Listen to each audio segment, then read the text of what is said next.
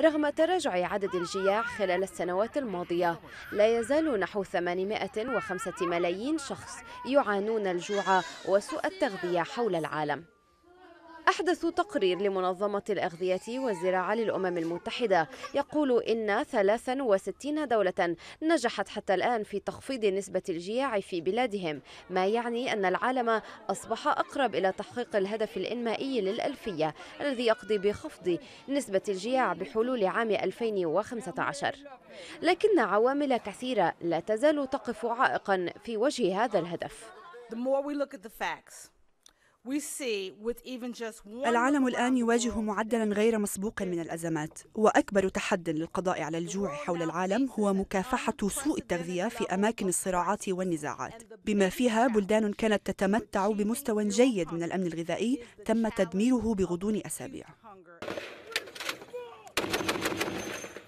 في سوريا والعراق يطرح تنظيم الدولة تحديات جديدة في وجه المنظمات الدولية التي تعجز عن الحد من سيطرة داعش على موارد الغذاء مثل القمح والمحاصيل الزراعية في المناطق التي أصبحت تحت سيطرتها. التقرير أيضا صنف اليمن من بين أفقر دول العالم وأكثرها افتقارا للأمن الغذائي وسط غياب الاستقرار السياسي والتدهور الاقتصادي في البلاد. أكثر من 46% من أطفال اليمن يعانون سوء التغذية فيما يعتمد خمسة ملايين يمني على المساعدات الغذائية. في بلد يستورد أكثر من 90% من احتياجات القمح والأرز جراء تضاؤل نسبة الإنتاج الزراعي.